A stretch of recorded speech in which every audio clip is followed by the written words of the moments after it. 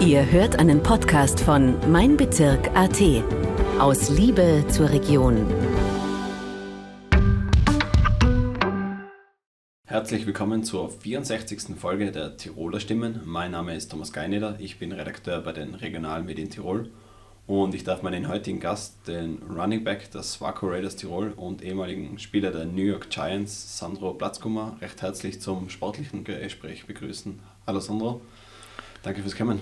Hallo Thomas, danke für die Einladung. Ja, Sandro, eben, du hast die Anfang des Jahres nach drei Jahren entschieden, deine Episode bei den New York Giants äh, zu beenden und wieder zu deinem Heimatverein, äh, den Swaco Raiders Tirol, zurückzukehren. Ähm, wie geht's dir derzeit? Mir geht's gut. Ähm, allerdings, es war jetzt es ist ein bisschen eine längere Story, wie das Ganze passiert ist jetzt drüben. Ich würde jetzt nicht sagen, dass ich entschieden habe, nicht mehr dort zu sein. Ich würde aber auch nicht sagen, dass 100% sie entschieden haben, dass sie mich nicht mehr haben wollen. Ja es ist irgendwo zwischendrin. Ähm, es war dann effektiv, dass ich gesagt habe, hey, ich meine, erstens mein Visum ist ausgelaufen, tatsächlich. Ja. Und ich habe gesagt, hey, ich habe in drei Jahren so viel gezeigt, ich denke, ich verdiene immer mehr Spielzeit oder generell Spielzeit generell. Ich habe fast nichts gespielt. Und ich habe gesagt, eben, ich, ich glaube, ich kann das besser und ich kann das besser. Und ich hätte gerne entweder, dass man die Chance gibt oder sonst bin ich lieber nicht da, weil ich, jetzt war ich drei Jahre da und ich bin nicht wirklich viel zum Spielen gekommen. Und letztendlich hat es auch geheißen, sie wollen dann im Draft noch wen holen und so weiter. Und dann hat es sich mehr oder weniger so ergeben, dass eben sie gesagt haben, na, wir wollen da die Chance eigentlich nicht geben. Aktuell zumindest nicht. Sie haben jetzt nicht unbedingt fix gesagt, dass sie mich nicht nochmal holen würden, eventuell. Das wird man nie wissen, aber also so hat es geändert. Also es hat jetzt ähm, quasi mit Anfang des Jahres mehr oder weniger das Ende genommen. Der Entscheidungsprozess war schon ein längerer, oder? Ja, ja, ich meine, Entscheidungsprozess, ich, ich kenne mich nicht aus, wie es behind the scenes abläuft. Ja. Ich habe dann schon am Ende noch dieses Gespräch einmal gehabt, am Ende vom Jahr, das habe ich in den ersten zwei Jahren gar nicht gehabt mit den, mit den letzten Coaches. Und da ist halt gesagt worden, ja, super alles gemacht, dies und das. Und dann habe ich ihm gesagt, eben, was mir am Herzen liegt. Ja. Und letztendlich habe ich eigentlich schon das Mindset auch gehabt, eben, dass ich gesagt habe, wenn, wenn ich nach drei Jahren, nach dem, was ich alles gemacht habe für sie, wenn sie mir immer noch nicht wirklich Spielzüge geben wollen, dann will ich ja lieber gar nicht da sein. Und, und wenn sie es schon tun wollen, dann bin ich motiviert dazu. Und letztendlich dadurch, dass sie gesagt haben, ja, sie wissen nicht so recht, wie sie weitermachen, dann, dann war ich eigentlich schon gleich mit, also mit meinem Kopf dann weg. Da war ich wieder in Österreich dann gleich. Ja. Und ich war dann eigentlich froh in dem Moment. Ich habe mir eigentlich dann gedacht, jetzt endlich kann ich mal wieder aussuchen, wo ich spiele, kann man aussuchen, dass ich ein bisschen mehr Spielzeit kriege, dass ich mehr Spaß wieder dran habe am Fußballspielen und nicht gleich wirklich Tag für Tag einfach diesen einen Spielzug, was ich auf den mich konzentrieren muss, weil ich nicht wirklich in den Gameflow reinkomme, weil ich so wenig spiele. Und das war mir dann einfach wichtig und letztendlich, ah, glaube ich, geht es mir jetzt zumindest momentan mental um einiges besser noch. Ja. Kannst du uns ein bisschen mitnehmen, weil das vielleicht für viele nicht so greifbar ist, wie, wie, wie so der Alltag in so einem großen Team ausschaut, weil du warst ja, ich habe immer vom Practice Squad äh, gehört, wie, wie hat der Alltag ausgeschaut? Ja, ich meine, Practice Squad gibt es nur in der Season. Also außerhalb von der Saison hat man ja einen 90-Mann-Kader, mhm. mit dem man trainiert und die dann praktisch in den Vorbereitungsspielen auch irgendwie mehr oder weniger Spielzeit bekommen und dann, um zu schauen, halt, wer wie gut ist. Ja. Und dann werden die Entscheidungen gemacht. Natürlich, großteils sind die Entscheidungen eigentlich im Vorhinein, nach dem, wo man herkommt. Ist ja tatsächlich auch relativ offensichtlich, dass das wirklich so läuft. Macht ja auch irgendwo Sinn, dass man sagt, ja, der, der hat zehn Jahre dort auf dem College oder Highschool, Highschool dann auf dem College und so gespielt, spielt seit zehn Jahren. Der spielt noch nicht so lange. Bei mir, glaube ich, haben sie gar nicht gewusst. Also mir ist vorgekommen, ein paar Coaches haben gedacht, dass ich Fußball oder Rugby gespielt habe, bis ich das erste Mal am Feld war. Dann war es ihnen schon klar, dass ich Fußball spielen kann, aber okay. das war auch recht interessant. Also ich glaube, sie kennen wirklich das außerhalb von uh, Europa gar nicht. Ja. Aber allgemein, Practice Squad ist halt eine Erweiterung vom Trainingskader. Im Prinzip, man hat Leute, die mittrainieren das ganze Jahr, die das Programm, das System kennen und wenn man Verletzungen hat, kann man sie raufholen in den aktiven Kader und sie spielen lassen direkt und muss jetzt nicht Leute von ganz außerhalb holen und sagen, hey, schau mal, das sind unsere Spielzüge, jetzt spielt es einfach die Woche gleich. So, so eine Art äh, Erweiterung vom Kader, sagt man ja, ja okay. eigentlich. Und ähm, das ist nur in der Saison. In der, in der Vorbereitungssaison sind es immer diese 90 und dann sind es halt diese 53 plus 15 oder so. Das heißt, man, man trainiert regelmäßig mit und man, man zeigt, äh, schaut, dass man seine, seine besten Leistungen auch während dem Training zeigt und ja. hofft dann, dass man eine Chance kriegt, oder? Ja, das auch. Ich meine, es hängt dann mehr mit Verletzungen zusammen in der Saison da, da oder mit der Situation, wo sie gerade wen brauchen, weil sich immer andere Position sich verletzt hat. Mhm. Es hat viel damit zu tun. Dass man sich an, an Spot arbeitet während der Saison ist relativ unwahrscheinlich. Habe ich eigentlich sehr selten, eigentlich nie in meiner Zeit jetzt bei den Giants gesehen, dass das passiert. Das, da ändert sich meistens relativ wenig. Also es gibt viele, die am, Trainingskader sind, das ganze Jahr dort sind, außer vielleicht, dass sie bei einem Spiel spielen, wo man sagt, jetzt möchte man die, die Starter rasten lassen, jetzt holen wir die vom Practice Squad mal mhm. rauf. Das kann schon passieren, aber im Prinzip, Tagesablauf ist dann halt nicht unbedingt so anders wie, wie auf dem Rest von der Welt. Ich meine, man trainiert einmal am Tag, man hat ein paar Meetings, man hat Walkthroughs und man hat auch relativ, also meines Erachtens relativ viel frei. Man ja. hat natürlich das Spiel am Wochenende, wenn man spielt, wenn man nicht spielt, hat man es nicht mal, da ist man trotzdem halt irgendwie dabei. Und jeder Practice Squad äh, Spieler ist effektiv 100% im Team. Also mhm. es ändert sich überhaupt nichts, außer dass man am Wochenende ein Training mehr hat und dafür ein Spiel weniger. Also ich meine, das ist der Unterschied. Okay. Ansonsten, die restliche Woche schaut genau gleich aus. Und meiner Meinung nach eben schon relativ viel Freizeit, dass man meistens mindestens einen halben Tag frei hat, macht ja auch nicht wirklich Sinn, 100% also jeden Tag 10 Stunden zu, ein Training zu haben, das funktioniert ja nicht. Ja, klar, da, ja. Nur weil man in der NFL ist, ist der Körper ja nicht anders. Ja. Und ja, so war das ungefähr. Wie, wie, eben, wie ist denn der Unterschied so vom Umfeld, was jetzt, ähm, sagen wir mal, Innsbruck betrifft und äh, New York? Das Umfeld, ja, ist schon anders. Es gibt keine Berge, ähm, es gibt halt hohe Häuser, es gibt viel Müll auf den Straßen, aber allerdings auch viel, viel was los ist. Also es ist viel, viel mehr multiethisch. Natürlich, man, jeder kennt New York irgendwie so von den Erzählern von den Filmen ja. und so es ist nicht immer so, wie es im Film dargestellt wird. Also es gibt schon auch, sage ich mal, dunklere Seiten von New York, aber allgemein war es schon ganz cool und es ist eben, wie gesagt, es ist immer was los. Es ist eine Millionenstadt ähm, und dementsprechend ist auch ein bisschen anders wie Innsbruck, weil Innsbruck ist keine Millionenstadt. Ja. Ähm, allerdings ist halt ein bisschen mehr Natur in Innsbruck. Die Leute sind ein bisschen anders, teilweise gefühlt weniger fake, sage ich mal. Also finde ich, das ist schon auffällig, ja. dass wenn man Leute trifft, dass sie dann über nett zu einem sind. So im Prinzip, ich weiß nicht, wer das jetzt gerade ist, aber ich möchte irgendwie Connections aufbauen, deswegen bin ich mal voll übertrieben nett. Mhm. Das finde ich ist relativ auffällig. Ah, da gibt es viele, viele Änderungen, was man da so erzählen kann. Natürlich auch von der Facility von den Giants versus. Das wahrscheinlich äh, wie Tag und Nacht sein im Jahr, oder?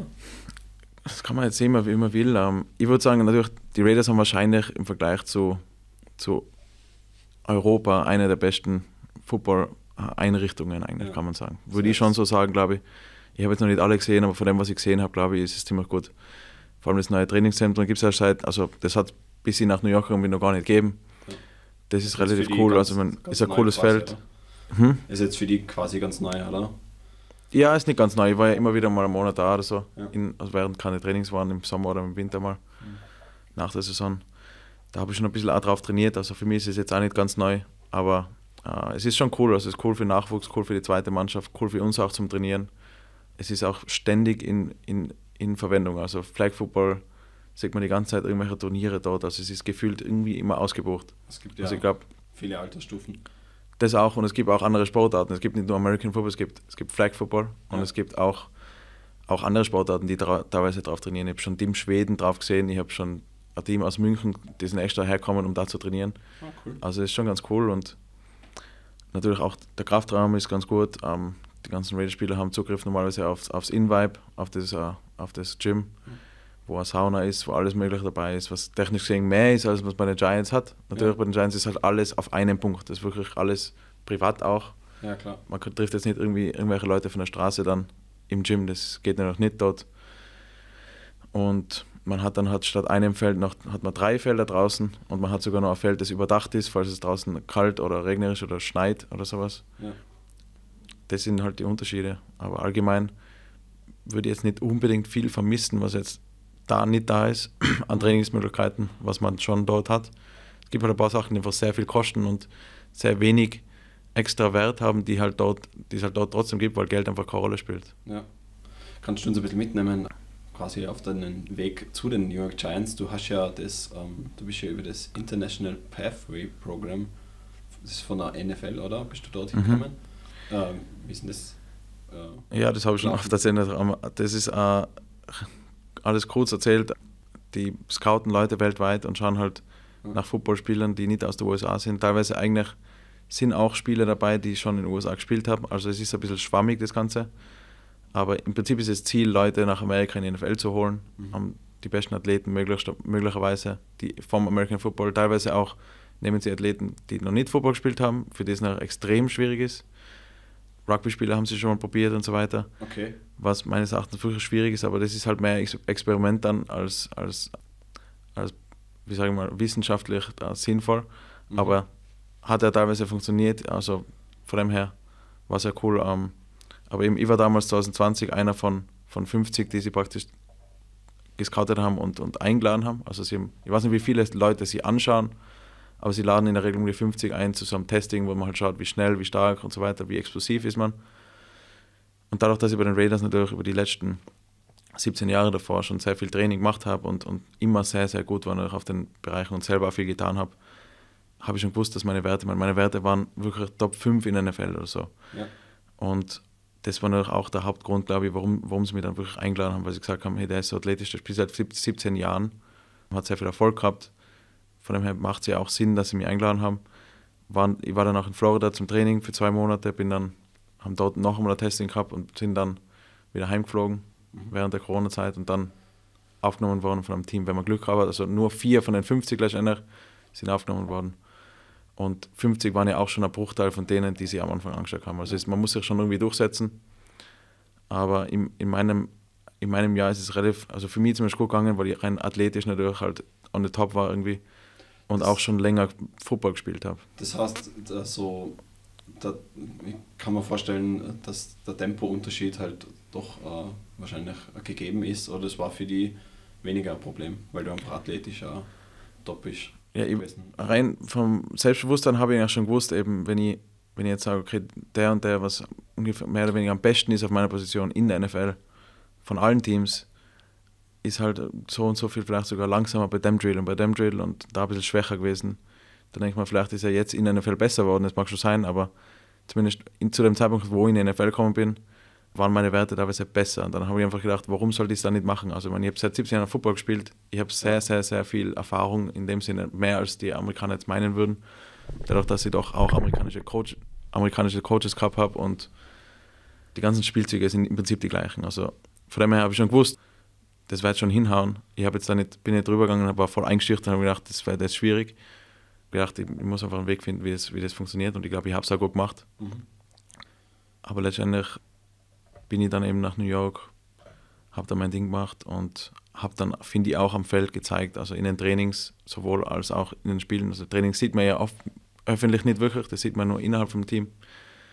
Die Spiele sieht man natürlich von auf der ganzen Welt und die paar Spielzüge, was ich gehabt habe, glaube ich, waren gut und von dem her war ich sehr zufrieden. Und letztendlich muss man auch, man kann, man sagt in, in, in NFL eigentlich immer, control what you can control, also das ist im Prinzip, man kann nur machen, was man machen kann. Man kann sich nicht Gedanken darüber machen, wie viel Spielzeit man kriegt oder aufregen über, über Dinge, die man nicht, die, Die man nicht selber in der Hand Hand hat. Also Mhm. das habe ich eigentlich ziemlich gut eingehalten. Klar ist immer wieder mal frustrierend, wenn man sagt, hey, ich bin ja schneller wie der, kann es besser im Training wie er, warum gibt es mal keine Spiel Chance im Spiel? Das ist ein bisschen schwierig in den Special Teams auch, dass da viel dahinter, wie das entschieden wird, aber letztendlich muss man das einfach irgendwie ausblenden, weil das macht ja eigentlich, das frustriert einen nur und das bringt einen eigentlich nicht weiter im Leben. Also man muss sich eigentlich auf die Sachen konzentrieren, was man machen kann und, und was einfach wichtig sind. Ist es vielleicht auf deiner Position, also Running Back, besonders schwierig, sich durchzusetzen, weil es dann nur, ja, Man kann schon so sagen, also rein, rein von, den, von den Erzählungen her und so, ist es schwierig aus mehreren Gründen natürlich. Einerseits natürlich die Herkunft, wo ich her bin, die Tatsache, dass man mich nicht kennt von da, Mhm. dass wer mit dem Ball läuft, was der Running Back primär macht, das erfordert halt sehr viel Stolz auch fürs Team. ja. Da geht es immer darum, Vorblocker ist immer was anderes als wie jemand, der was mit dem Ball läuft.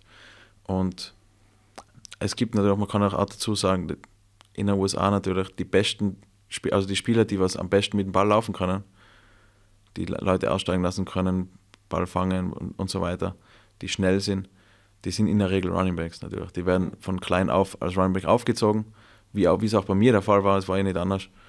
Und, und demnach hat man die besten Ballträger dort auf der Position. Und da gibt es eben sehr viele in so einem großen Land.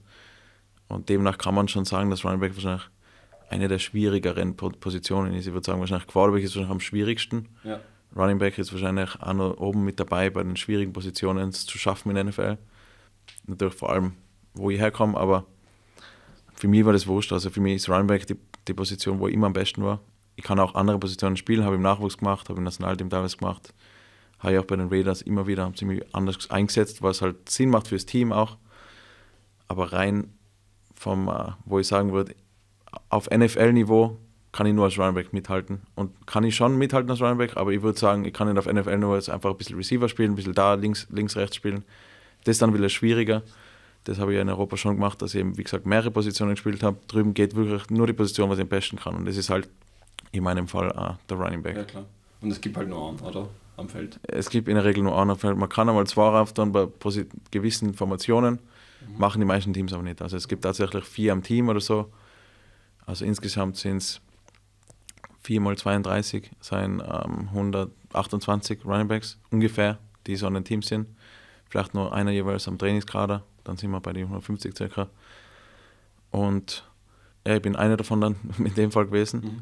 Und ich bin aber auch ständig eigentlich der Meinung gewesen, eben, dass mag sein, dass es vielleicht 20 bessere gibt oder mag vielleicht 30 bessere, aber ich wusste, es gibt gerade 100 bessere Runningbacks auf dem Niveau. Ja. Zumindest nicht, was ich gesehen habe. Aber das ist natürlich dann letztendlich nicht in meiner, in meiner Ding, uh, das zu entscheiden. Weil du es angesprochen hast, das mit der Herkunft ist auch ein großes Thema, wie ich das verstanden habe, was auch die Vermarktung quasi betrifft, oder? Das heißt, wenn die jetzt nicht interessiert sein am, am deutschsprachigen Raum oder am österreichischen Markt, dann macht es für die weniger Sinn, sagen wir mal, einen österreichischen Spieler einzusetzen, oder?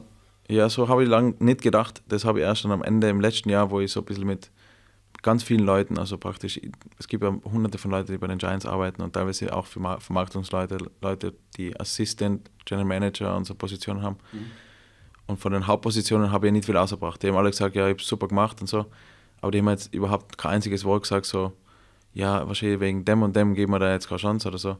Oder deswegen kriegst du so wenig Spielzüge. Das ist mir ja nie gesagt worden. Deswegen habe ich halt ein bisschen umgefragt und geschaut, halt irgendwie, irgendwer muss man irgendwas sagen. Und eine wirkliche Antwort 100% weiß ich noch nie, weil die anderen können auch nur spekulieren, so ein bisschen, weil sie halt in den Meetings sitzen und so. Aber das ist mal gesagt worden, dass das viel ausmacht. Und ich habe ja schon, ich bin vorher schon gewusst, bevor ich in den NFL gegangen bin. Ich bin ja, mag sein, dass ich der erste Running Back war ja. aus Europa, der erste, der noch nicht mal College Football gespielt hat, was halt neu war für drüben natürlich. Und mhm. was neu ist, ist immer schwierig, weil man glaubt halt an das, was bisher funktioniert hat, dass das weiterhin funktioniert. Für mich war es aber wurscht, ich denke mal, wenn es jemanden gibt, der es zum ersten Mal macht, dann bin ich es. Und als Running Back eben, es war dann letztendlich so, dass, dass ich eben gewusst habe, es, es, hat vielleicht den Moritz Böhringer gegeben, es hat den Anthony Dablé als Receiver mal gegeben aus, aus Frankreich, also der, der mhm. Böhringer ist aus Deutschland, die alles gute Athleten waren und die in meinen Augen, habe ich immer gedacht, ja, das gibt es ja nicht, dass die nicht, dass die da nicht unterkommen an den, also in, an den aktiven Teams. Das gibt es ja nicht, weil mhm. die, ich habe immer, immer gedacht, die sind gleich gut wie die oder, oder besser. Und inzwischen habe ich es mir jetzt eigentlich selber, kann ich es mir selber beantworten, dass es wahrscheinlich bei denen ähnlich gelaufen ist wie bei mir, ähm, dass einfach äh, da andere Dinge eben nicht unbedingt 100% passen. Und ich glaube aber, dass es weiterhin sich bessern wird. Also ich glaube, dass es jetzt, jetzt schon besser wird, dadurch, dass die NFL ein paar, ein paar Spiele in Deutschland hat und jetzt auch eben rein marketingmäßig da mehr Interesse hat. Ja. Zumindest manche Teams haben das und denken sich vielleicht, ja, hey, wenn wir einen Spieler, ein Team haben, der was dann in Deutschland spielt und er ist aus Deutschland, dann kriegen wir da mehr Fans und Zuschauer und es macht irgendwie mehr Geld. Und in der Fall geht es ja schon ums Geld. Und andererseits muss man halt sagen, es ist schwierig, natürlich, wenn der Spieler aus den USA kommt, aus dem College, wo jeder schon den kennt, den zuschaut und so weiter. Der bringt noch immer mehr Einschaltquoten als ein Spieler aus Europa, außer man spielt in Europa. Und demnach ist es dann halt schwierig bei Teams, die, die nicht in Europa spielen, dass man da wirklich viel rein Marketinginteresse bekommt. Ja. Das kann man schon so sagen. Ist das ist das jetzt frustrierend schon, oder? Ja und nein. Es ja, ist, nein. Man kann es nicht beeinflussen. Also ich, mein, ich bin in, dem, in der Zeit geboren, in der ich geboren bin. Ich habe das gemacht, was ich machen habe können. Ich kann mir jetzt nicht denken, wäre es nicht cooler, erst in 100 Jahren vielleicht, wenn es dann anders ist oder vor 100 Jahren oder sonst schon mal, oder wäre es nicht fein in, in den USA geboren worden. Das kann man nicht, das, die, die Dinge kann man nicht ändern und ja. ich glaube, es ist ja gut so. Also rein für mein ganzes Leben, glaube ich, würde man nicht wünschen, in Amerika geboren worden zu sein. Also ich bin die, die ganze Zeit, ich treffe manchmal Leute in der Stadt, die ich natürlich nicht kenne, aber die mich halt erkennen und dann fragen so, hey, wie ist es wieder da zu sein? Ich gedacht, du bleibst jetzt drüben oder sowas. Und ich meine, jetzt gehe ich gehe nicht immer Vollgas drauf ein oder erzähle die ganze Story, so viel, so viel Zeit habe ich gar nicht, Ja, aber, klar. aber ich, meine, ich habe nie, also es war nie der Gedanke, drüben zu bleiben. Also es war wirklich nur ums Fußball gegangen. Ja. Ich wollte da einfach auf dem höchsten Niveau spielen, aber es war immer, immer bewusst, dass ich wieder zurückkommen will. Und das hat es ja eigentlich bestätigt in der Zeit, dass ich dort bin. Ich will eigentlich keine Familie drüben haben. Ich bin lieber da und von dem her bereue ich es auch nicht da zu sein. Also die Tatsache, dass ich Österreicher bin, für das schäme ich mich nicht und für das bin ich eigentlich stolz drauf. Und ich habe eigentlich auch das Ganze irgendwo genossen als Underdog, oder? Dass ich wirklich weiß, jeder denkt, dass ich nicht mal wirklich Fußball gespielt habe. Sie denken, dass wir in Europa nicht Fußball spielen können, dass wir live Fußball spielen. Und, und das ist irgendwie ganz cool, wenn man so ein bisschen dieses Gefühl hinter sich hat, dass man weiß, sie, sie unterschätzen einen halt sehr. Und, und ich glaube, ich habe schon, auch wenn ich es letztendlich nicht auf dem aktiven Kader in der Saison äh, geschafft habe, ich habe einige gute Spielzüge gehabt. Ich war dort und ich glaube, ich habe genug Mitspieler und Trainer, also mit, mindestens über 200 Spieler habe ich ja gehabt in der Zeit, die an den Giants waren. Es wechselt ja sehr, sehr, sehr schnell drüben. Und auch einige Trainer, die glaube ich jetzt schon so ein bisschen, also zumindest ähm, ihr, ihr Mindset ein bisschen geändert haben und ein bisschen gesehen haben, okay, wir sind nicht die Einzigen, was Fußball spielen können. Und Ja. ich glaube, das habe ich bewiesen. Das heißt, ähm, in der Zukunft soll es vielleicht für österreichische Talente einfacher sein, mal in der NFL Fuß zu fassen. Das wäre schon auch das Ziel, ich hoffe es schon. Ich würde es mir auf jeden Fall wünschen für, für die zukünftige Generation, eventuell für mich selber nochmal. Oder eben, es geht immer um das, es geht immer um das, um das große Ganze. Es, ich glaube, wenn man, wenn es nur um sich selber geht und man sagt, ich möchte nur meinen besten Erfolg haben, ganz egal, was die Zukunft macht, ich glaube, dann hat man schon verloren. Also es geht ja, es geht nicht um einen selber, es geht ums große Ganze. Und wenn ich für Football mehr erreichen kann, wenn ich Football größer machen kann, wenn ich Österreich größer machen kann, wenn ich den Nachwuchs und alles Mögliche, wenn ich da irgendwas erreichen kann, dauerhaft, dann ist das viel mehr wert als der eigene Erfolg, dass ich sagen kann, hey, ich bin in der Welt gespielt, aber Österreich liegt jetzt, also sie brennt jetzt, weil es kein Football mehr gibt in Österreich, weil ich da irgendwie alles verschissen habe oder so. So ist ja überhaupt ganz im Gegenteil. Also ich Ja. glaube, es ist sehr, sehr groß gewachsen seitdem. Und auf das bin ich eigentlich mehr stolz als auf meinen Erfolg drüben, dass das dass Football gewachsen ist, auch dadurch, dass ich einer der Spieler war, die rübergegangen ist, die rübergegangen sind und, und auch für, Europa, für Österreich früher viel Leistung gezeigt habe, ähm, für die Raiders und so weiter und jetzt auch wieder haben kann, hoffentlich. Also das ist schon wichtig und das, ich ich glaube, das ist das Gefühl, und das kennt ja jeder. Es ist ich habe ja noch keine Kinder, aber ich glaube, das Gefühl, einfach jemandem was weitergeben zu können und Ja. zu sagen können, ich habe irgendwie andere Leute beeinflusst und denen mehr Spaß an irgendwas geben oder mehr Talent oder mehr, mehr mitgeben von irgendwas. Ich glaube, das ist immer das Wichtigste. Apropos, du hast angesprochen, Familie bei euch. Dein Bruder spielt auch seit über 20 Jahren Football. Deine Mhm. Schwester ist als, als Cheerleaderin aktiv und der Papa ist auch Football fanatisch. Bei euch ist das ja, volle Familiensache, oder? Ja, ist schon. Also es hat ja angefangen damals, dass der Dieblinger Daniel, der jetzt noch beim Flag Football sehr aktiv ist in Tirol, der war damals äh, Nachwuchstrainer bei den Raiders und ist jetzt auch, ich glaube, Lehrer nebenher, hat sich also praktisch aus den, bei den Raiders ein bisschen distanziert, macht jetzt seine eigenen Sachen eher, aber war damals ein super Coach, also ist immer noch, immer noch ein super Typ, mit dem ich viel Kontakt eigentlich noch habe. Und der, hat, der war damals der Nachbar von meiner Oma, wo er Nachwuchstrainer war und hat damals gesagt, hey, ich, glaube, ich war vier Jahre alt, mein Bruder war sechs Jahre alt, hat, hat gesagt, hey, die, eure Kinder sind ja richtig, äh, richtig athletisch, kommt mal zum Footballtraining vorbei. Und dann sind wir halt vorbeigekommen und der Bruder hat angefangen, ich habe dann zwei Jahre drauf angefangen. Und der Papa war, glaube ich, dann auch schon verliebt in den Sport und Ja. von dem her war Football aber seitdem eigentlich immer das Hobby Nummer eins für mich. Das war dann eigentlich klar. Ja, jetzt können wir wieder in die Gegenwart quasi. Du bist jetzt wieder bei den Swaco Raiders Tirol. Ja, wie schaut die Vorfreude auf die, auf die kommende Saison aus? Die Raiders sind jetzt erstens mal in der IFL, oder? Genau, die, ne, zum zweiten Mal. Also Zum zweiten Mal. zu meiner Zeit haben wir nur in der AFL gespielt. Da ist jetzt, man kann eigentlich sagen, die, die zwei besten Teams aus der, aus der österreichischen Liga von damals haben sich jetzt nochmal aufgerüstet mit ein paar von den anderen Teams, ein paar sehr guten Spielern, also von den anderen Teams in der österreichischen Liga. Mhm. Sind praktisch als zwei Top-Teams jetzt in die nächste Liga gegangen, in die ELF, also die Europäische Liga, European Liga Football, wo jetzt eigentlich, man kann sagen, die, die besten Spieler in Europa noch spielen auch die besten Teams, also wirklich sehr, sehr viele Länder, die dabei sind. Ich weiß gar nicht, wie viele, aber ich glaube 17 Teams sind es und die österreichische, österreichische Liga gibt es ja nach wie vor. Ja. Ist halt jetzt inzwischen mehr in den letzten zwei Jahren mehr zur Aufbauliga jetzt worden. Also wirklich, Österreich Liga ist ja auch nicht schlecht, da spielen immer noch viele, viele gute Spieler, junge Spieler auch, mhm. Die sich da praktisch beweisen können und wo dann die besten Spieler von, von der österreichischen Liga dann schon, glaube ich, als Ziel haben, in die, in die ELF aufzusteigen, dann möglicherweise zu einem von den zwei österreichischen Teams, die in der ELF spielen, die Raiders und die Vikings, oder sogar irgendwelche anderen Teams. Und das, das, heißt, in der, in der österreichischen Liga spielt jetzt quasi das zweite Team, kann man das so sagen? Kann man schon so sagen. Es, es ist natürlich ein bisschen aufgerüstetes zweites Team, wo jetzt mehr Wert drauf gelegt wird, weil es doch die höchste österreichische Liga ist, mhm. wo viel dahinter steckt, wo, wo man jetzt schon auch Amerikaner hat. Also man hat auch tatsächlich, für die Amerikaner ist ja interessant, eben, dass in der LF vier spielen dürfen, ich glaube AFL dürfen zwei spielen. Ja. Und in der, in der Europäischen Liga darf man auch nur sechs Europäer haben und der Rest muss Österreicher sein. Also ah, okay, für ja. ein deutsches Team müssen es dann der Rest Deutsche sein. Da würde ich als Österreicher zum Beispiel als, Deu als, als europäischer Spot zählen. Mhm. Und eben in der, in, uh, es kommen halt manche Amerikaner daher, manche Imports, die man praktisch recruited und die dann zu den Raiders kommen und manche spielen dann in der AFL 2 und vier spielen in der ELF. Und das ist halt dann natürlich irgendwie separat. Es gibt unterschiedliche Coaches und unterschiedliche Entscheidungsträger, wer dann wen holt.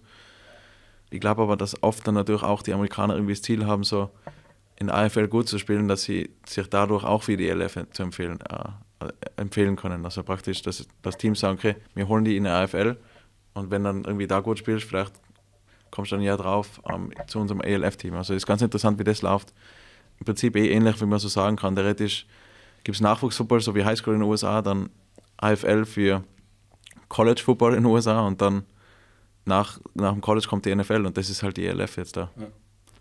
Wie, wie schätzt du die Chancen in der ELF ein von den Raiders? Ich denke sehr hoch. Also ich glaube, wir haben sehr viel Talent am Team. Ihr wart ja ähm, letztes Jahr in, im Finale, oder? Ja, waren letzt, letztes also, Jahr waren sie im Halbfinale. Im Halbfinale, okay. Und also ich meine, ich war jetzt, ich habe noch vier Spiele, glaube ich.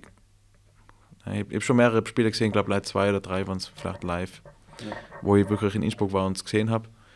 Und ich glaube, dass das Team heuer nochmal besser ist, um ja. einiges, glaube ich. Und ich, weiß nicht, wie die anderen Teams alle drauf sind, aber ich glaube, dass wir schon sehr, sehr gut ausschauen werden. Vor allem, wenn wir auf, auf das Potenzial spielen, das wir haben. Wir haben ein paar Amerikaner hergeholt, die wirklich sehr gut ins Team passen. Auch von der, von der Art her ist ja immer sehr wichtig, dass man Spieler findet, die nicht nur gut am Feld sind, auch auf der Field wirklich mit dem Team zurechtkommen, weil mhm. jeder spielt irgendwie dafür gute Experience, für das, dass es einfach Spaß macht, Football zu spielen, dass man ein cooles Team hat, einen guten Zusammenhalt. Das ist meiner Meinung nach eigentlich der, einer der größeren Unterschiede zu NFL. Da drüben geht es ja eigentlich nur um eigentlich mehr um Geld als um das Wohl der Spieler. Ja. Und das ist eigentlich da, glaube ich, man merkt schon den Unterschied. Also das, es macht schon mehr Spaß und irgendwie jeder ist so voll im Team dabei und ich glaube, dass, dass es eine, eine, coole Saison werden kann und ich glaube auch, dass, man, dass es eine erfolgreiche Saison werden kann, ja. beides. Ihr habt ja einen neuen Quarterback, oder? Genau. Den Christian Strong, oder? Jawohl, aus ähm, Kanada. Aus Kanada. Wie läuft es mit dem? Kann der in die Fußstapfen vom Sean Shelton treten? Das wird sich zeigen, ich glaube schon. Er hat gut trainiert. Ja. Ich denke, er schaut gut aus. Er ist auch von der Art her passt er perfekt ins Team. Also mhm. einer der nettesten Menschen, die man so, die man so äh, kennen kann. Passt super rein und ist auch motiviert drauf. Also ich glaube, er schätzt da die Raiders sehr. Er ist sehr froh, dass er da ist. Das merkt man auch. Und, und auch äh, Jarvis McClam, das Receiver, wir geholt haben, der sehr gut ist. Noch zwei, zwei DBs, die, die auch gut ausschauen. Also äh, und der restliche Kader ist mit recht viele, äh, recht viel heimisches Talent. Ich glaube, wir haben unter den Teams rein vom heimischen Talent, jetzt auch mich ausgeschlossen, sicher eines der Top-Teams rein vom, vom heimischen Talent. Und dann kommen halt dann noch ein paar gute Amerikaner dazu, ein paar gute Europäer. Ich glaube, dann rein vom Talent her sind wir schon ziemlich gut. Ja, wie schaut es eigentlich dann mit dem Trainingsausmaß aus? Weil es ja sicher ein Unterschied ist auch, oder zur NFL? Oder? Ähm, ja, für mich war es eigentlich mehr. Also abgesehen davon, dass ich mehr Spielzüge kriege, natürlich, weil ich jetzt mehr Einsatzzeit habe in der NFL trainiert man nie mehr als fünfmal die Woche eigentlich. Also okay. hat maximal zwei, drei Trainings in Folge, dann mal Pause, dann vielleicht nochmal zwei und dann wieder Pause und dann sind es sieben Tage maximal. Also maximal fünf Trainings in sieben Tagen, davon glaube ich auch in der Regel nicht jedes Vollgas. Ja. Also da fährt man ein bisschen runter, weil es einfach auf höchstem Niveau Vollgas geben, tut man sich weh. Das ist einfach im bei erwachsenen Leuten ist das so, bei Kindern geht das oft noch ganz, ganz gut, aber bei Erwachsenen ist es so. Das ist auch, da gibt es wissenschaftliche Daten drin, hat man drüben, hat man GPS halt drin, dass es genau gemessen wird. Ich glaube, das ist auch ein Riesenunterschied zu da, dass man natürlich jetzt nicht beim Training hinten ein GPS drin hat, das misst, wie schnell und wie weit man läuft im Training, Okay. wie viele Richtungswechsel man hat und so weiter. Aber das kostet auch extrem viel, wenn man das macht, natürlich. Demnach macht man es jetzt noch da, da noch nicht. Ja. Aber es ist schon interessant, dass das einfach ein bisschen anders läuft von dem her. Ich würde aber eben sagen, dass wir jetzt sechs, sechsmal die Woche trainiert haben über die, nächsten, über die letzten ungefähr vier Wochen, ist es eigentlich technisch gesehen mehr am Feld, als man in einer Feld eigentlich in einem Feld verbringt. Natürlich oft viel, man hat viel weniger Meetings, man hat viel weniger ähm, einfach Stunden, wo man einfach Walkthroughs hat, wo man durchspaziert die Spielzüge, dass sie ja jeder versteht. Ja. Einerseits, weil die Leute natürlich irgendwie teilweise auch gebildeter sind, gefühlt, dass sie einfach die Spielzüge schneller lernen, dass man vielleicht nicht ganz so komplizierte Spielzüge oder nicht, nicht ganz so ins Detail reingeht Ja. und das einfach ein bisschen anders gemacht wird. Und von dem her, also rein vom Training her ist schon sehr viel und es gibt ja auch, momentan glaube ich, gibt es nicht viel, viel nebenher zu machen, aber man hat ja auch immer die Möglichkeit, nochmal extra aufs Feld, zu gehen, ein paar Läufe zu machen, wenn man möchte. Ja. Wie, wie, ich würde mich deine Meinung interessieren zum, zum Football in Europa, wie sich der mein, deiner Meinung nach entwickelt hat, weil ich das Gefühl habe, in den letzten Jahren hat es schon einen, einen riesigen Boom ergeben. Ja, ich denke auch. Also wo ich, wo ich hergekommen bin, jetzt wirklich über längere Zeit, habe ich schon, finde ich, war es schon auffällig für mich, dass ich sage, wo ich gegangen bin nach New York, was finde ich schon eine Spur anders. Abgesehen davon, dass es Trainingszentren noch nicht gegeben hat. Ja. Ja, und äh, wir haben noch keine drei Teams gehabt, damals waren erst noch das zweite Team und das erste Team, jetzt gibt es schon ein drittes Team inzwischen mit, das was wirklich äh, einmal die Woche spielen und trainieren und, und Bier trinken und so, also mehr Spaß, nicht Ja. unbedingt auf höchstem Niveau, aber macht auch Spaß. Das zweite Team ist schon auch auf, auf relativ hohem Niveau und trainieren auch, spielen auch auf dem Footballzentrum, was richtig cool ist. Das hat es damals auch noch nicht gegeben. Mhm. Da hat man fürs zweite Team dann nicht wirklich ein Heimstadion gehabt, weil das Steelers-Stadion ist zu groß irgendwie fürs zweite Team gewesen. Ja. Das ist auch cool. Die Fans, glaube ich, sind mehr geworden. Es gibt ja, ich war letztes Mal Schiedsrichter beim, auch auf dem Footballzentrum beim, beim Flag Football. Mhm. Und es gibt fast, ich glaube, 96 Klassen oder so haben mitgemacht. Also fast 100 Klassen mit jeweils, ich weiß nicht, 20 Kindern oder so, ähm, haben, haben beim Turnier mitgemacht. Und das ist halt schon extrem viel. Natürlich. Letztendlich waren natürlich nur die, die sechs Besten, glaube ich, von jeder Altersstufe irgendwie bei, bei, bei der Meisterschaft. Du kannst ja nicht 96 Teams am gleichen Feld äh, spielen haben, das geht so nicht aus. Ja. Aber da gibt es diese Vorausscheidungen und so. Also es ist schon ziemlich groß geworden. Also Ja. Flag Football ist gewachsen, American Football ist- gewachsen, die Fanbases, also mehr Fans. Ich denke es mal eben, also es ist Zuschauerinteresse ist einfach äh, wahnsinnig groß mittlerweile. Wenn man das jetzt mit dem Fußball zum Beispiel vergleicht in Tirol, das ist, ja, kann man eigentlich nicht vergleichen. Ja, ich meine, man kann schon stolz irgendwie drauf sein als Footballer, dass in, in Tirol Football wirklich, ich glaube inzwischen ein Aushängeschild ist. Und dass Tirol nicht das gleiche wäre ohne Football momentan. Dadurch, dass man klar Skifahren im Winter ist so wichtig, aber im Sommer ist Football schon recht groß und, und ich glaube, es soll auch so sein. Wir haben wirklich gute Spieler da, wir sind immerhin, Österreich ist immerhin in der, U- im U19-Level in Europa ungeschlagen seit 2011. Ich bin damals 2013 und 2015 Meister geworden. Ja. Also wir sind im Nachwuchs wirklich sehr gut in, in Österreich, in Wien und in Innsbruck. Und in Innsbruck gibt es halt noch nicht so viel drumherum wie in Wien. Das hilft natürlich, dass einfach Football dann mehr eine größere Rolle spielt einfach. Und ja, es ist, ich finde es cool. Also ich hoffe, dass es noch weiterhin wächst. Ja. Ich finde, es hat das Potenzial dazu, zumindest in Innsbruck, noch weiter zu wachsen und dass, dass man da richtig was Cooles aufzieht. Und ich glaube, die Saison wird es auch zeigen. Ich bin gespannt, wie viele Leute dann in, ins äh, Stadion kom- kommen. Ich hoffe, es wird so voll wie möglich. Ja. Und ich glaube glaub eben, dass, dass jeder Fan da relativ viel äh, zu, zu bieten bekommen wird. Ja, was mich jetzt noch interessieren wird, weil du eben gesagt hast, du würdest schon gerne mal in die NFL gehen, oder wenn es möglich ist. Wie, wie, werden da, wie schaut denn da ein möglicher Weg aus bei dir? Ja, ich sag, ich sag mal so, es ist nicht unbedingt etwas, was ich jetzt 100% auf das ich gehen werde. Also ich Mhm. mache mein Studium weiter. Ich rechne damit, dass nicht nur was kommt, so wie ich es damals gemacht habe. Ich meine, ich Ja. habe damals, ich habe nie gerechnet damit, dass die NFL mich aufnimmt. Als erst, erster Österreicher, das ist so unwahrscheinlich gewesen. Ja. Und ich mache weiterhin mein Studium weiter. Schaue, dass ich mit dem Leben einfach weiterkomme. Das habe ich jetzt drei Jahre irgendwie pausiert. So, weil ich halt nicht wirklich da war, wo halt die, die meisten Kollegen sind, die Familie, die Freundin und so. Das war alles immer ein bisschen schwieriger, aber ich habe es halt im Prinzip auch dafür aufgeben, weil ich halt praktisch meinem Traum irgendwie gefolgt bin. Wenn jetzt nochmal ein Team kommt, die sagen, hey, wir geben dir eine Chance, spielt bei uns eine, Vorbereitungssaison, vielleicht schaffst du aufs Team oder so, dann wäre ich blöd, wenn ich es ablehnen würde. Ja. Das ist realistischerweise schon irgendwie möglich. Die Wahrscheinlichkeit, wie hoch es passiert, weiß ich nicht.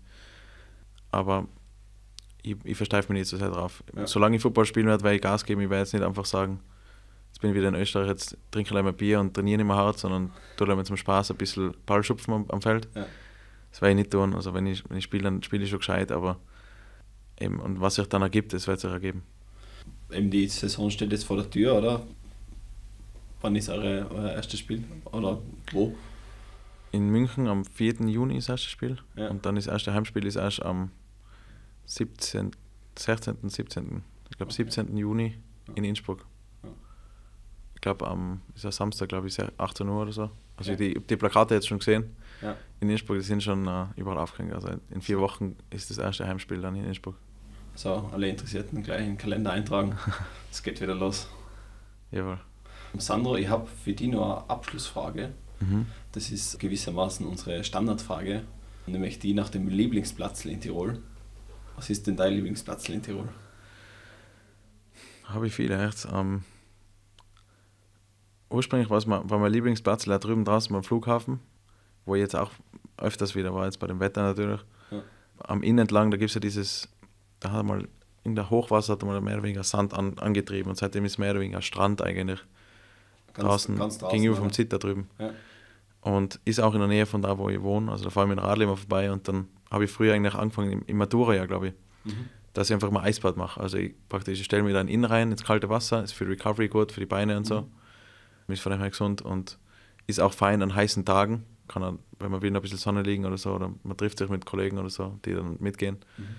Das ist halt ziemlich zum, zum Ritual eigentlich geworden. Also es hat dann schon eine zweistellige Zahl von Spielern geben, die das auch da mitgemacht haben, weil es einfach cool ist, weil es extrem schön ist draußen und, okay. und einfach auch gut für den Körper ist, wenn man da ein bisschen Eisbad macht. Und das würde ich schon als mein Lieblingsplatz bezeichnen. Aber es gibt viele andere Plätze, die, die da sich qualifizieren würden dafür. Okay, die bleiben geheim, oder? ja, die bleiben geheim. Okay, jawohl. Ja, danke fürs Kommen nochmal, Sandro. War sehr, sehr interessantes Gespräch, wirklich. Ja. ja. Danke für die Einladung, Thomas. Und äh, ja, viel Erfolg bei der anstehenden Saison. Danke vielmals und ich hoffe, wir sehen uns im Stadion. Jawohl. Liebe Zuhörerinnen und Zuhörer, auch Ihnen danke fürs Dabeisein. Alle unsere Folgen gibt es natürlich auf unserer Webseite meinbezirk.at slash Tiroler Stimmen. Hören Sie in die bisherigen hinein und lassen Sie sich von den neuen Folgen immer ab Dienstag überraschen. Die Nachrichten aus Tirol, Ihrer Region und aus Ihrer Heimatgemeinde lesen Sie online auf meinbezirk.at slash Tirol und in der Printausgabe der Bezirksblätter Tirol ab Mittwoch in Ihrem Postkastel. Danke und bis zum nächsten Mal. Das war ein Podcast von Mein Bezirk AT. Vielen Dank fürs Zuhören und bis zum nächsten Mal. Aus Liebe zur Region.